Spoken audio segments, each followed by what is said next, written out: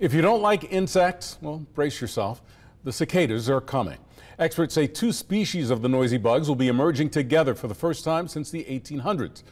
But what will that co-emergence actually look like here in central Alabama? James Giles joins us now after talking with an Auburn University professor. And James, what can we expect here in our area? Well, Steve Auburn University professor and chair of Department in Entomology and Plant Pathology, David Held, says trillions of cicadas will emerge across much of the U.S. for about a two-week period at the start of May.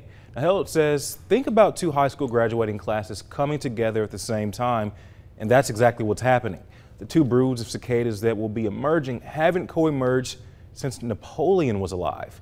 Good news for you if you're afraid of them, though.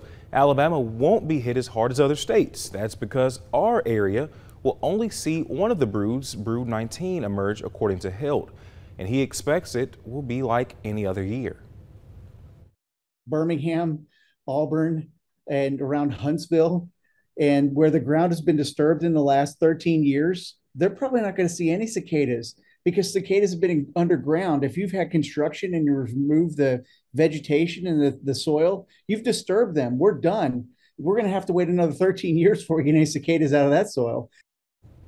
Held says if you live around the state or national parks, you might be out of luck and see a significant amount of cicadas, but there are unique ways to deal with them in places like New Orleans. They're preparing to eat them. Yep, that's right. Reportedly, restaurants there are taking advantage of the emergence of these trillion red eye bugs and slapping them on salads and other dishes, Steve.